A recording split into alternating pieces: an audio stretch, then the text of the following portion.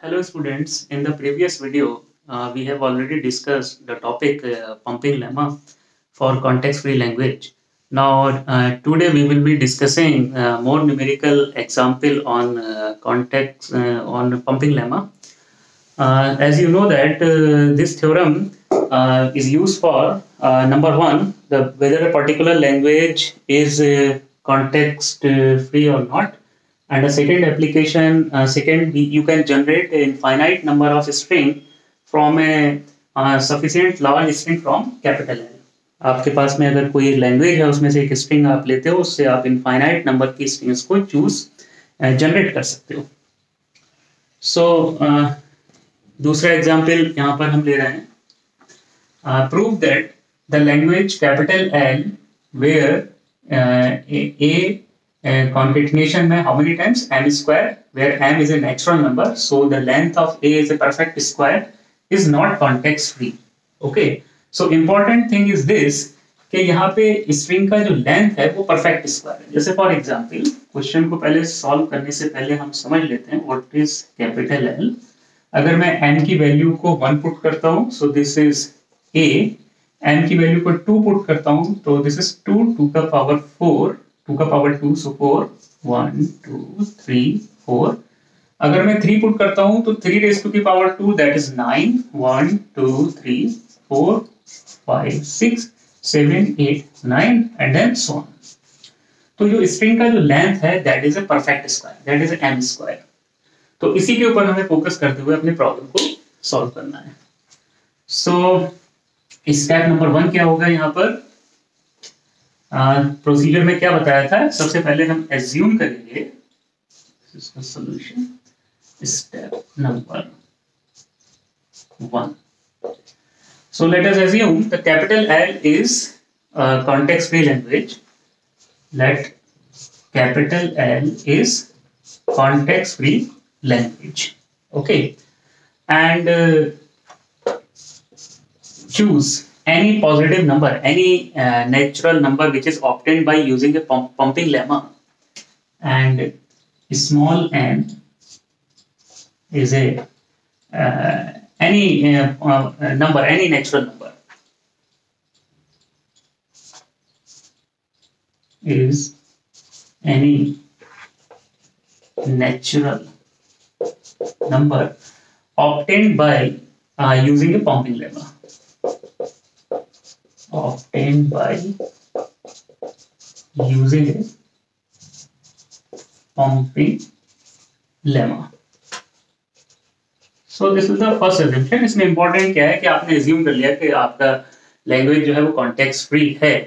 Okay now after that step number two step number two अब हम यहाँ से एक स्ट्रिंग को चूज़ करेंगे।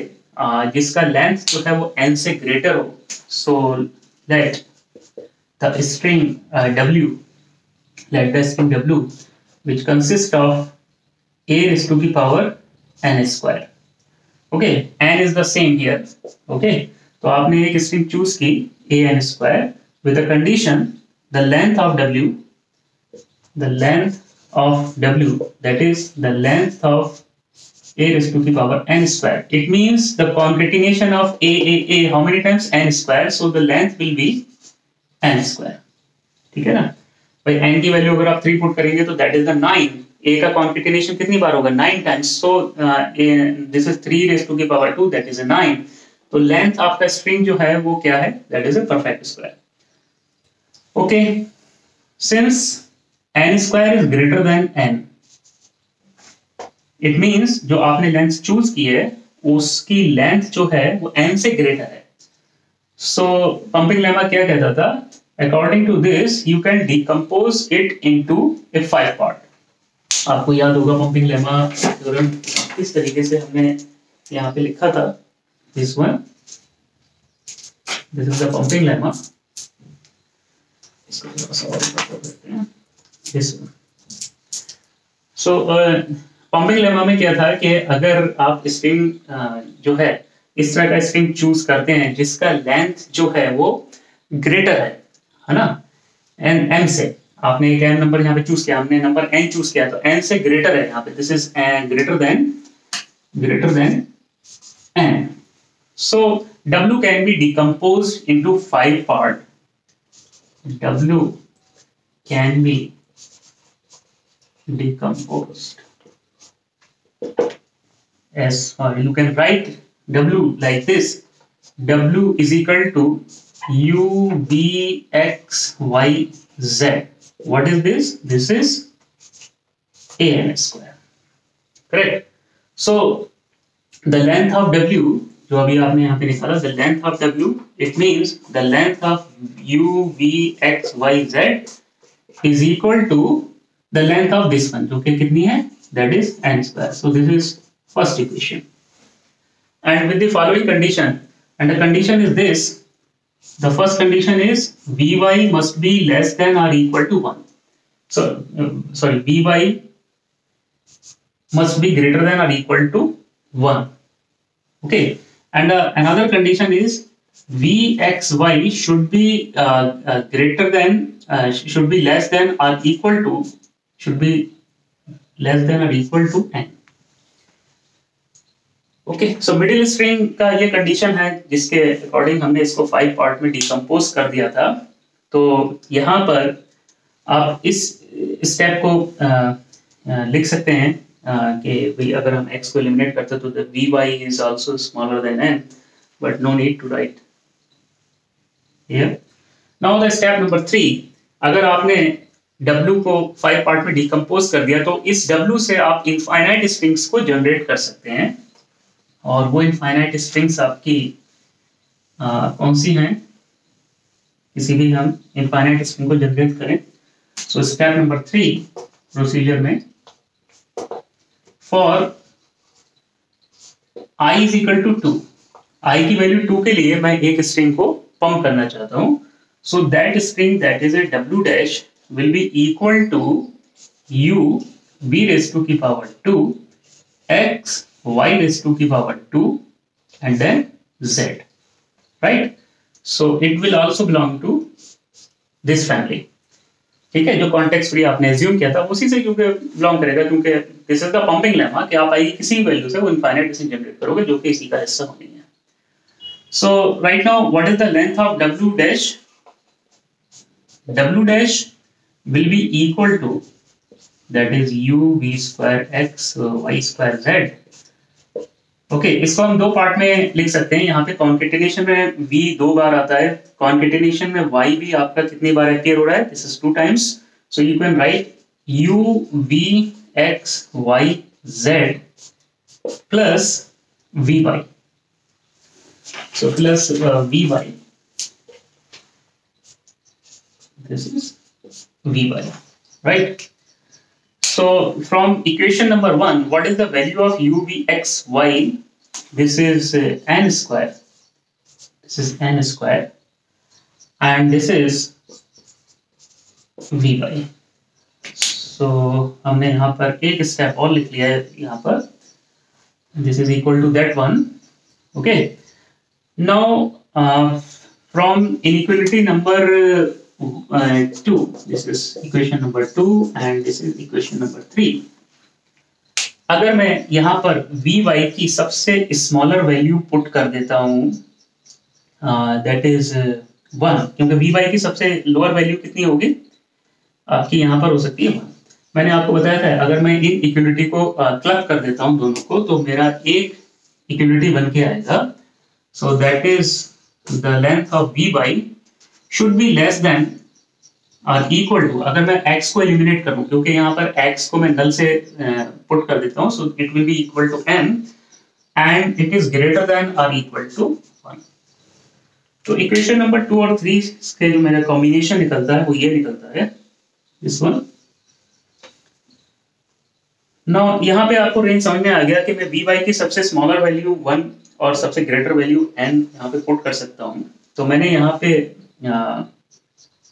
वैल्यू को पुट किया, सबसे स्मॉलर वैल्यू को तो ये आपका इनइक्वलिटी किसके इक्वल हो जाएगा? The length of W dash the length of W dash so मैं यहाँ पे सबसे छोटी वैल्यू वन को पुट करता हूँ तो it will be W dash will be greater than or equal to n square plus one maybe मैंने सबसे छोटी वैल्यू यहाँ पे पुट कर दी।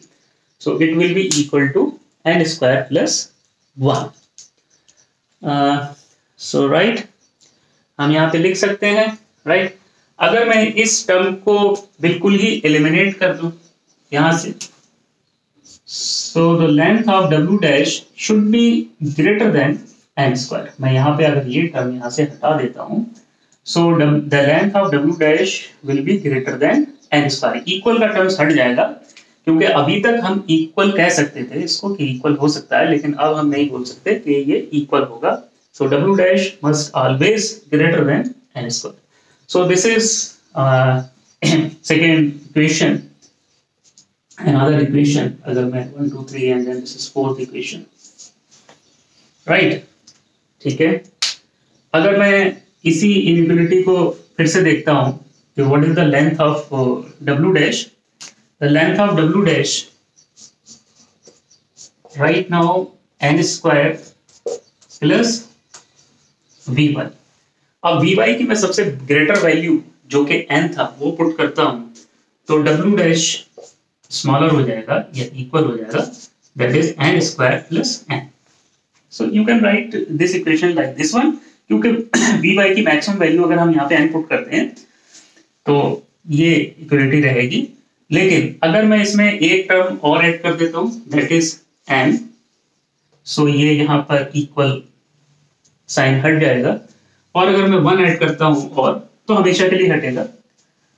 So the length of string always smaller than this term so this is equal to this is equal to n square plus two n plus one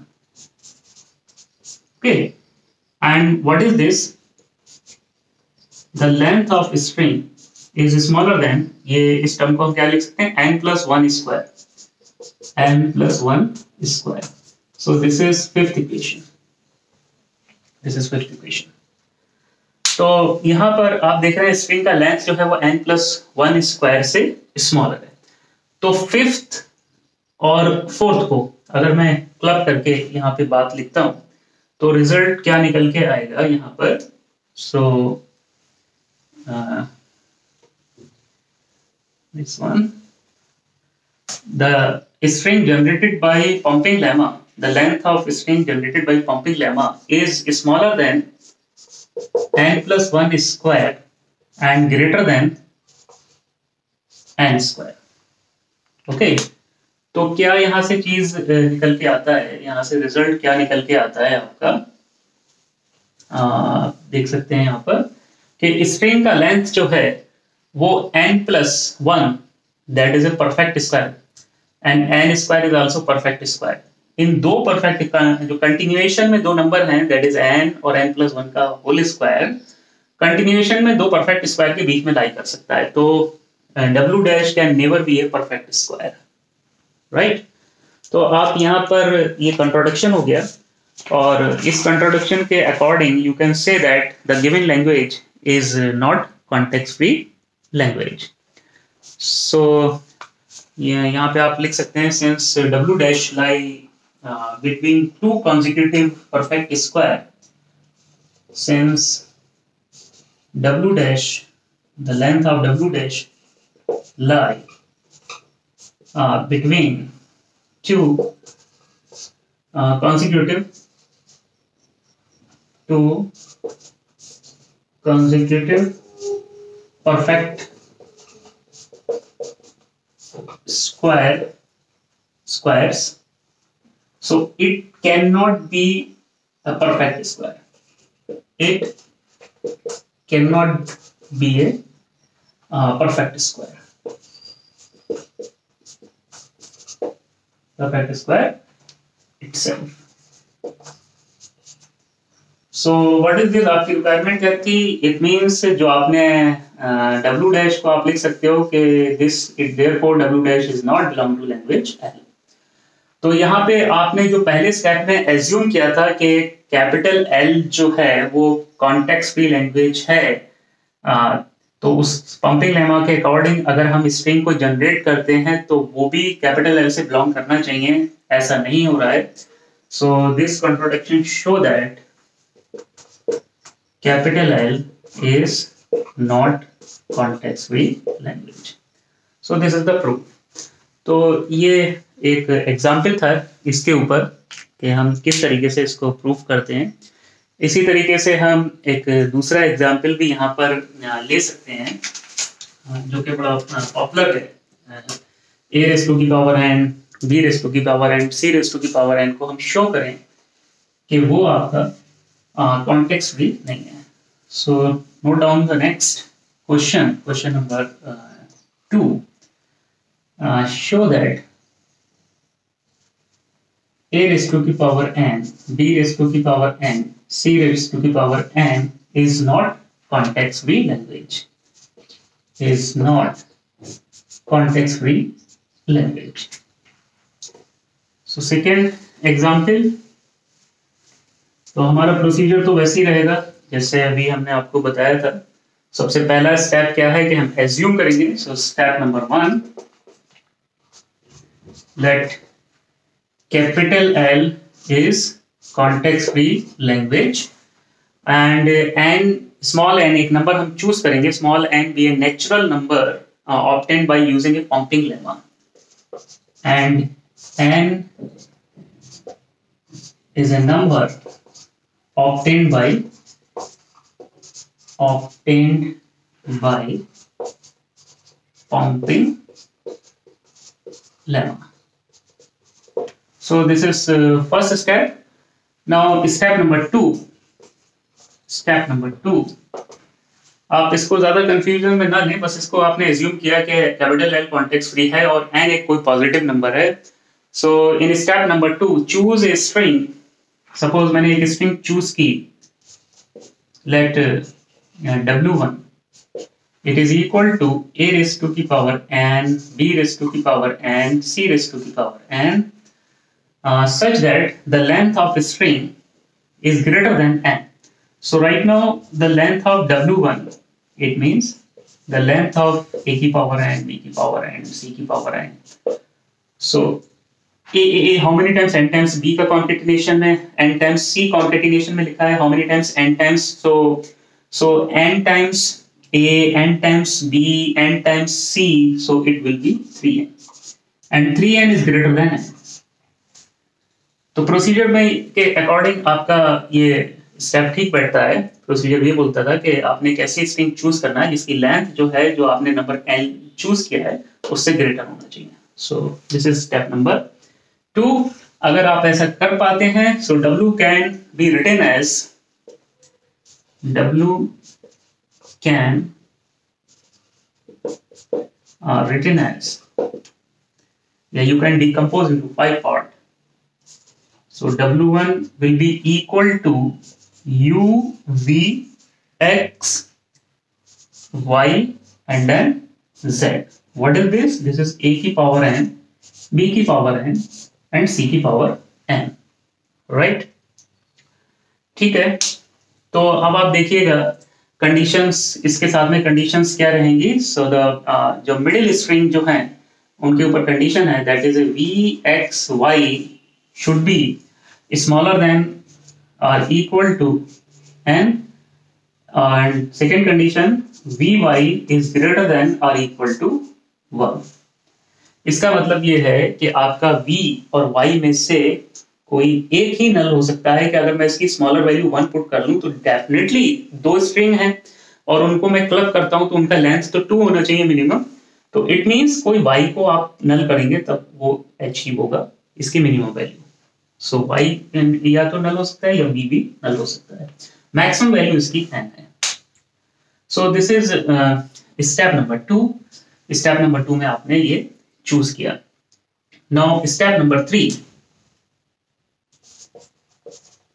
step number three अब step number three में आप जो ये strings हैं, आपकी we string यहाँ पे concatenation में लिखे हुए हैं आपके ये स्ट्रिंग सपोज़ मैं एक एग्जांपल तो बी या तो सिर्फ़ सिर्फ़ ए से मिलके बना होगा, या सिर्फ़ बी से मिलके बना होगा, या सिर्फ़ सी से मिलके बना होगा। Okay okay?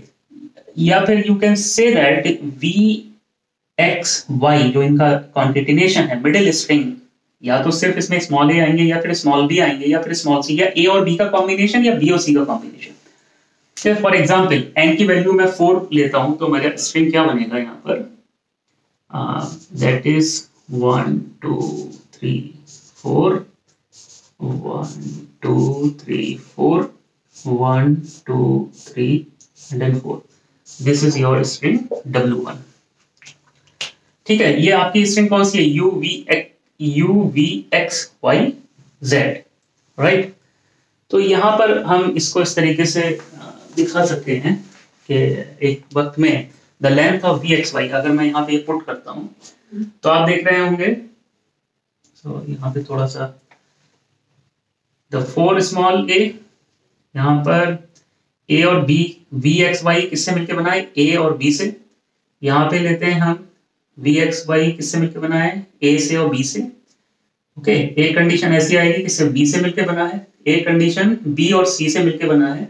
Like this like this और एक बार ऐसा भी हो सकता है कि ये सिर्फ़ और सिर्फ़ सी से मिलकर बना हो। तो यहाँ से अगर मैं एक्स को एलिमिनेट कर दूँ और वाई को भी एलिमिनेट कर दूँ तो मैं सिर्फ़ वी की बात करूँगा। तो मैं ये बोल सकता हूँ कि वी सिर्फ़ और सिर्फ़ ए से मिलकर बना है, या मैं ये भी बोल सकता हूँ कि बी से मिलके बना है, या बी बी जो है, वो सी का कलेक्शन है। या एक केस ऐसा होता है बी और सी का कॉम्बिनेशन या एक केस ऐसा भी हो सकता है कि ए और बी का कॉम्बिनेशन लाइक दिस राइट तो यहाँ पर बी जो है, वो कॉन्केटिनेशन में है ए तो हम केस नंबर वन लेते हैं। So case number one let small b consist of only a only uh, small uh, small b. Right uh, लिख सकते हैं स्मॉल ए स्मॉल बी किसी से भी लिख सकते हैं कंसिस्ट ऑफ़ स्मॉल ए तो आपका uh, uh, यहाँ पर let v is equal to a raised to की पावर k. करेक्ट तो ये तो स्टेप ऊपर हो गया। तो फॉर किसी भी हम जब वैल्यू के लिए जब हम जनरेट करेंगे, और i is equal to zero step number three मैं यहाँ पे लिखता हूँ। So step number three continuation में चल रहा है। So for i is equal to zero के लिए अगर मैं स्ट्रिंग को पंप करता हूँ so my string W dash will be that is u v raise to की power i x y raise to की पावर आई जेड तो आई की वैल्यू को मैंने क्या पुट किया? That is zero and that is zero अगर मैं यहाँ पे वन पुट करता तो मेरी कौन सी स्ट्रिंग होती? That is original string. That is a raised to की power n, b raised to the, b raised to the power n, c raised to the power n. लेकिन यहाँ पे मैंने ज़ीरो लिख दिया। तो मेरे स्ट्रिंग में से सिर्फ़ स्मॉल बी किससे मिलके बने थे? Small b consist of only a how many times a that is a k times a तो आपकी जो स्ट्रिंग थी, जो ओरिजिनल स्ट्रिंग थी, उसमें ए रेस टू की पावर एन ना होकर के क्योंकि यहाँ पे आपने पावर ज़ीरो दे दिया इट मींस वी यहाँ से एलिमिनेट हो गया। तो कितने ए एलिमिनेट हो गए? वी कितने ए से मिलकर बना था? के टाइम्स ए से so a becomes n minus k dot b raise to की पावर एन ही रहेगा सी रेस टू की पावर एन वैसे तो ए की पावर ही एन रहता लेकिन यहाँ पर वी आपने एलिमिनेट कर दिया। वाई हमने ऑलरेडी नल एज्यूम किया था एक्स हमने ऑलरेडी नल एज्यूम किया हुआ है। तो जेड जो है वो आपका स्ट्रिंग होगा that is b raise to की power n and c raise to की पावर एन ओके यू हमारा नल है यहाँ पर। तो आपने v को यहाँ से एलिमिनेट कर दिया। सो so, कितने a यहाँ से चले जाएँगे? क्योंकि v a से मिलके बना था। How many times a? K times तो वो यहाँ से माइनस हो गया। So this string w dash आप देख रहे होंगे कि यहाँ पे नंबर ऑफ़ a कितने हैं? N minus k times number of b कितने हैं? N times number of c कितने एन टाइम्स तो अभी हमारा जो क्वेश्चन था कि number of A and number of B and number of C आपस में इक्वल होने चाहिए, सब एन एन था so here n minus k is not equal to n ठीक है ना? तो आपने जो पंपिंग लेमा के अकॉर्डिंग एक स्ट्रिंग को जनरेट किया तो उसमें नंबर ऑफ़ ए स्मॉलर है राइट नंबर ऑफ़ बी से। तो कंडीशन ये क्या बोलता है? This is a contradiction so you can say that you can say that W dash is not belong to capital L इस फैमिली से belong नहीं करेगा। Is not belong to capital L so w dash is not belong to capital l. So therefore therefore, this is a contradiction. Capital l is not a context free तो अगर एक भी string के लिए हम proof कर पाते हैं, सिर्फ़ किसी भी एक स्ट्रिंग के लिए हमने ये प्रूफ कर दिया कि कंट्रोडक्शन तो the whole language is not a context free language okay तो हमने एक केस के साथ में ये डिस्कशन किया। इसी तरीके से मेरा दूसरा डिस्कशन आप एक केस नंबर टू ले सकते हो, या फिर केस नंबर वन का। Suppose b consist of a and b कुछ ए से मिलके बना है, कुछ बी से मिलकर बना है okay so case number two ये तो इसी से आप प्रूव कर देंगे, तब भी आप आपकी क्वेश्चन आपका कंप्लीट ही रहेगा। बट हम फिर भी डिस्कस करते हैं कि केस नंबर टू से हम अगर प्रूव करते तो क्या होता? So let b consist of number of a suppose this is k and some number of b where k plus l is less than or equal to n यही condition थी ना अभी जो हमने देखा था। सो so, अगर मैं अब यहाँ पे पंप करता हूँ इस स्ट्रिंग को suppose for i is equal to two और i is equal to two के लिए तो new string W dash will be equal to u v square x y square z right u को हमने ऑलरेडी नल माना हुआ है, x को नल माना हुआ है यहाँ पर right and then z consist of you can say that c की b की पावर एंड c की पावर n. तो यहाँ पर आप क्या लिख सकते हो? यहाँ पर v जो है, वो अपियर हो रहा है two times how many times two times and then x, y square z. तो आपका जो स्ट्रिंग था ए की पावर एन बी की पावर एन तो उसमें से आपका जो वी जो था, जो ए की पावर के और बी की पावर एल से मिलके बना था, वो रिपीट हो गया टू टाइम्स तो आप इसको ऐसा लिख सकते हो ए की पावर के एंड बी की power k so this is first b and then after that again b तो आप फिर से लिखते हैं ए की पावर के एंड देन बी की पावर के correct now after that X Y को हमने कंसीडर नहीं किया था सो जेड का वैल्यू था बी की पावर एन एंड सी की पावर एन